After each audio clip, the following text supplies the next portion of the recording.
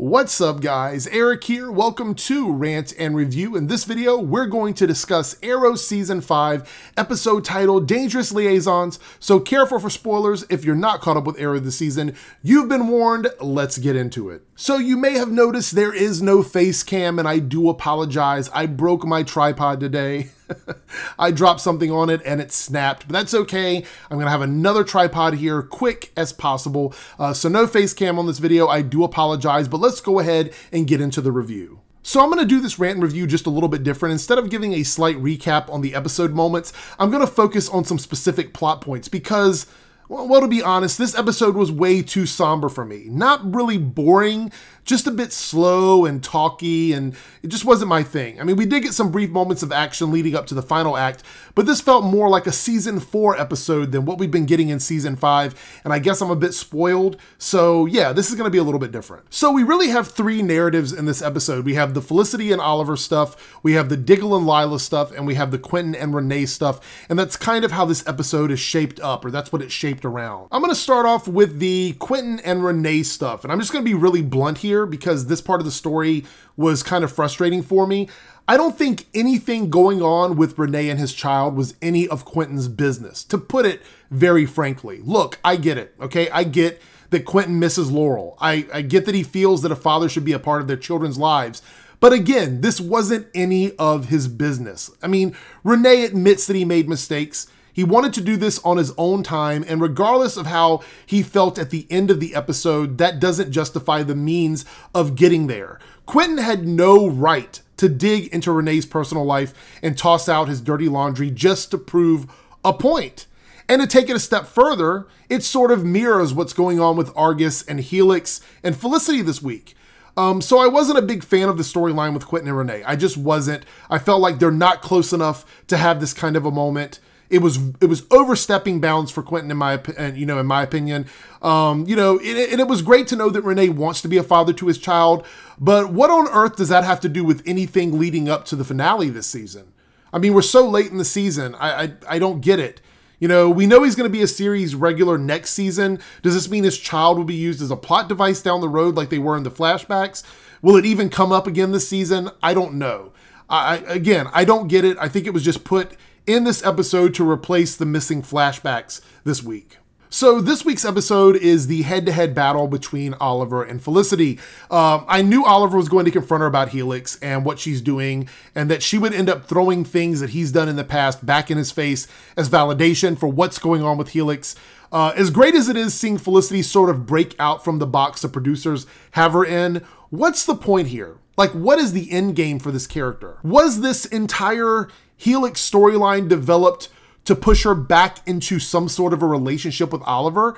I mean, to me, it totally feels like the tension between them is there just to set up a rekindling of their love for each other. You know, like drop them to their lowest point and then pick them back up again. It's something that happens in a lot of love stories. Not only that, but Felicity has this blind trust in Helix that's really just astounding to me we find out, you know, that they want to break out their leader, Cayden James, who's being held, you know, by Argus without due process, which, by the way, it is social commentary, and typically that bothers me, but I think this week it was important to the narrative of this episode, so I don't really have an issue with it.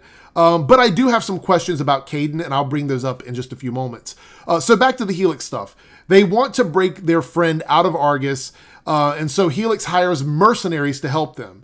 So this is my question. Why did they need Felicity on site in this episode? Because she ends up going out with them to do some stuff on site. I didn't really understand it. I mean, she did some hacking stuff at the start, you know, to get the ball rolling on Argus. But on site, they just had tablets and they were pushing buttons. I just didn't see the significance of having Felicity there. Uh, also, Alena seemed to be confident that Team Arrow wouldn't show up. So it wasn't like she had Felicity along with them just in case that scenario happened. So it really confuses me to why she was there at all. Oh, wait, okay, so it was to build up that moment where Felicity trapped Oliver behind the laser grid, right? I forgot, you know, rekindling that love by driving that fake wedge between them. I mean, that has to be what this was about because otherwise it just doesn't add up. And then we had the Diggle and Lyla stuff, and it feels like she's turning into Amanda Waller. I mean, even even Diggle says that in this episode, and she justifies what she does because now she's behind the desk and he isn't. So it's kind of like you know she's in the the middle of everything and he's sort of on the outside of it. Um, and you know this is social commentary on today's politics, showing that the people in power don't always understand the risk or struggles involved in getting from point A to point B. Like they don't see the bigger picture, or they think they do, but they don't. So they make very harsh decisions. It also served to maybe show that Diggle and Lyla might be breaking up. You know, I'm not sure, but a lot of fans are convinced that Diggle will end up with Dinah in next season. So could this be the beginning of that push for these two characters to split up and to put Diggle and Dinah together?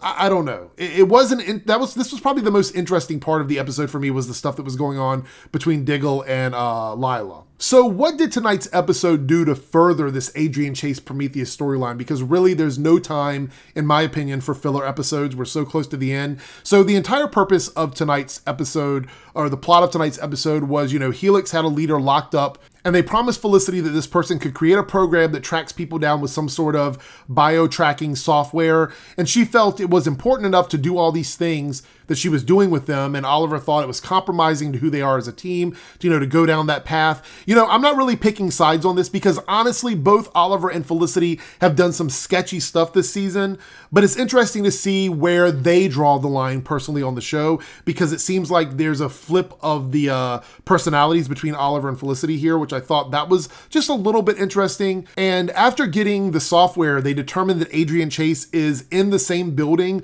with them, possibly inside the Arrow Cave, and then we get an explosion leading leading into an entire episode of Oliver Felicity locked together inside their headquarters. You know, uh, who knows what this is going to add up to. Also, something kind of interesting, I talked about Cayden James earlier in the video. We didn't see the face of Cayden James. I don't know if that's some suggestion that we know who he is and there's some sort of mystery there.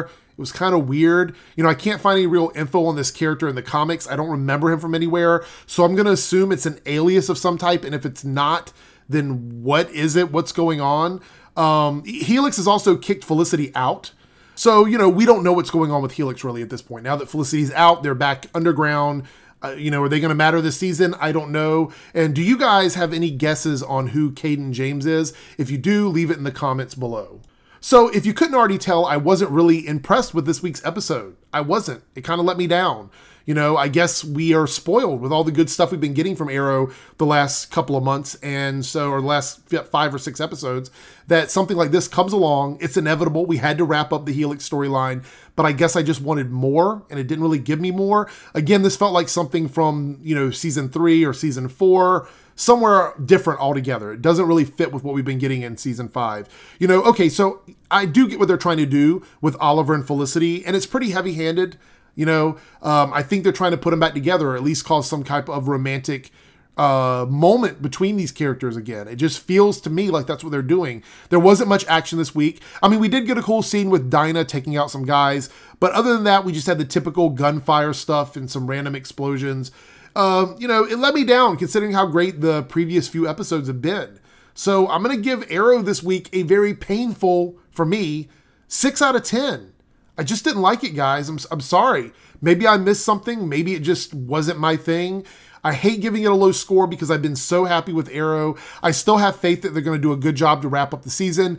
This episode, though, and maybe next episode, I, I, I don't know. I'm not going to prejudge next episode yet. We'll talk about that on my rant preview. Again, this episode just missed the mark for me. Um, yeah, that's it. But, you know, guys, let me know down in the comments what you thought. Uh, what would you score this episode on a scale of 1 to 10? And uh, were there any moments that you really loved that you just don't understand why I don't like? Uh, let's talk about it in the comment section. All right, take care, guys. Have a great day. Have a great week, and I will catch you later.